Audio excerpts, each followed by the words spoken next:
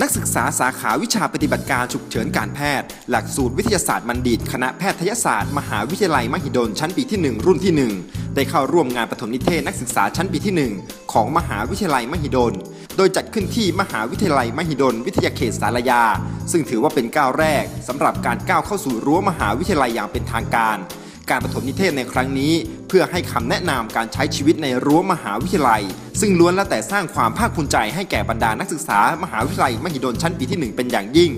โดยเฉพาะสำหรับนิสิตสาขาวิชาปฏิบัติการฉุกเฉินการแพทย์รุ่นที่ 1จำนวนกว่า 30 คน ที่ถือว่าเป็นนิสิตรุ่นแรกของภาควิชาปฏิบัติการฉุกเฉินการแพทย์ ต่างตั้งความหวังไว้ว่าอีก 4 ปีข้างหน้า จะได้นำความรู้ที่ได้ไปใช้ประโยชน์เพื่อสังคม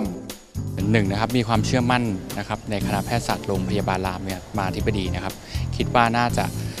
สั่งสมประสบการณ์นะครับ ความรู้ให้เรานะครับมีความรู้นำไปพัฒนาระบบปฏิบัติการการแพทย์ฉุกเฉินของประเทศไทยต่อไปได้ดีในอนาคตครับ เลือกที่จะมาเรียนต่อนะคะ เพราะว่าอยากที่จะเพิ่มพูนประสบการณ์ แล้วก็ทักษะให้มากกว่านี้ค่ะ เพราะว่าเมื่อก่อนนี้นะคะเป็น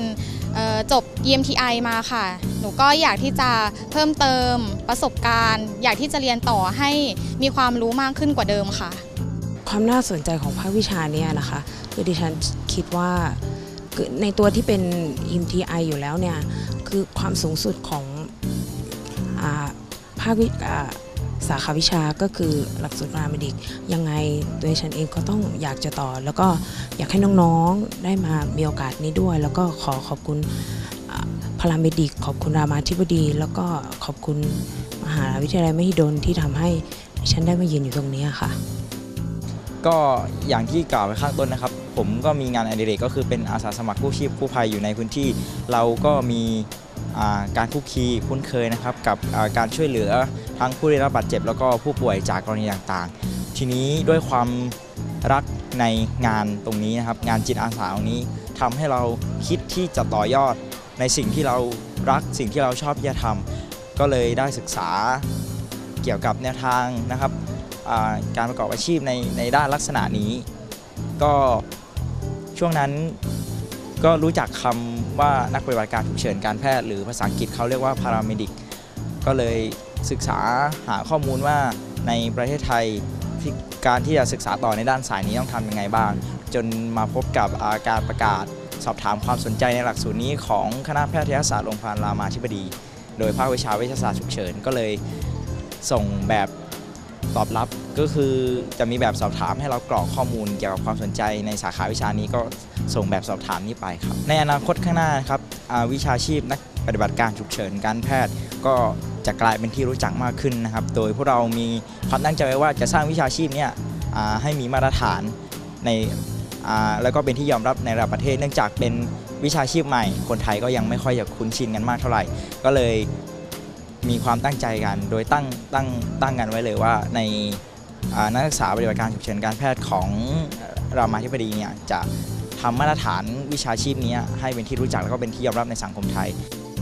สาขาวิชาปฏิบัติการฉุกเฉินการแพทย์ ในแต่ละปีจะเปิดรับนักศึกษาจำนวน 30 คนต่อปีด้วยเป้าหมายของคณะแพทยศาสตร์ มหาวิทยาลัยมหิดล เพื่อผลิตบุคลากรทางการแพทย์สาขาต่างๆพยาบาล และบุคลากรอื่นทางการแพทย์ที่มีคุณภาพ ให้นักศึกษาได้เรียนรู้การดูแลรักษาแบบองค์รวม การใช้เทคโนโลยีอย่างเหมาะสม และสามารถทำงานในชุมชนได้ โดยเฉพาะอย่างยิ่งสาขาวิชาปฏิบัติการฉุกเฉินการแพทย์ ที่มุ่งเน้นผลิตบุคลากรทางการแพทย์ ที่สามารถดูแลผู้ป่วย หรือผู้ประสบเหตุตั้งแต่ที่เกิดเหตุ หรือแม้แต่ผู้ป่วยที่อยู่ในเคหสถานตามสถานที่ต่างๆ เพื่อนำส่งแก่โรงพยาบาลอย่างปลอดภัยตามหลักวิชา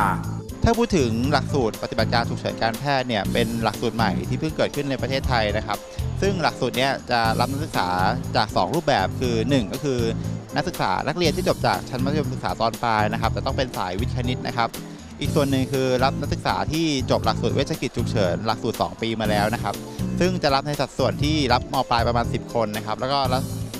ในสัดส่วนเวชกิจเนี่ยประมาณ 20 คนนะครับ paramedic เนี่ยมันก็มีชื่อย่อว่าพารากับ medic ใช่ไหมครับพาราเนี่ยหมายถึงอยู่เคียงข้าง คอยช่วยเหลือหรือปฏิบัติการข้างเคียงกับ medic ก็คือแพทย์นะครับเพราะฉะนั้น paramedic ก็คือเป็นบุคลากรที่ปฏิบัติงานในภาวะฉุกเฉินนะครับ แต่ว่าต้องเป็นฉุกเฉินนอกโรงพยาบาลนะครับ ก็คือปฏิบัติงานบนรถกู้ชีพในจุดเกิดเหตุนะครับช่วยเหลือคนไข้เบื้องต้นนะครับ สามารถทำหัตการหลาย ๆ อย่างได้ที่สามารถช่วยชีวิตคนได้นะครับ ภายใต้คำสั่งของแพทย์อำนวยการนะครับ ก็หลักสูตรเนี้ยเราผลิตปีละ 30 คนนะครับ แล้วก็หวังว่าในอีก 4 ปีข้างหน้าเนี่ยจะมีนักศึกษาเต็มจำนวนประมาณ 120 คนนะครับแล้วจะพยายามเพิ่มจำนวนนักศึกษาที่สามารถผลิตได้ต่อปีเนี่ยให้มากขึ้นเรื่อย ๆ นะครับ เพื่อตอบสนองความต้องการของประเทศของประเทศเรานะครับ ซึ่งปัจจุบันเนี่ย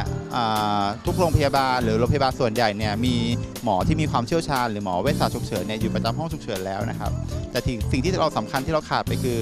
ขั้นตอนการดูแลระหว่างการดูแลตั้งแต่ที่บ้านจนถึงโรงพยาบาลครับเพราะฉะนั้นเนี่ยพาราเมดิกเนี่ยจะจะตอบโจทย์ความเป็นอารยธรรมของการแพทย์ฉุกเฉินในประเทศไทยได้เป็นอย่างดีครับ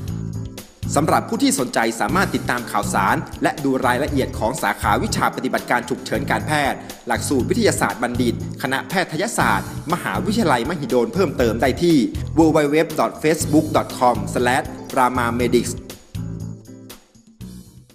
คณะแพทยศาสตร์โรงพยาบาลรามาธิบดี มหาวิทยาลัยมหิดล จัดทำนิตยสารวาไรตี้สุขภาพดีแอดรามา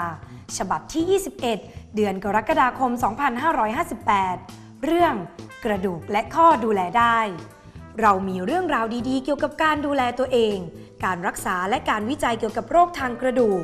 และความเชื่อที่ว่า การบีบนวดกระตุ้นทำให้เป็นเกาได้จริงหรือ พบคำตอบได้ในคอลัมน์ Believe It or Not อย่ารอช้ารีบคลิกไปที่ adrama.mahidol.ac.th เพราะสุขภาพดี เริ่มต้นได้ด้วยปลายนิ้วคลิก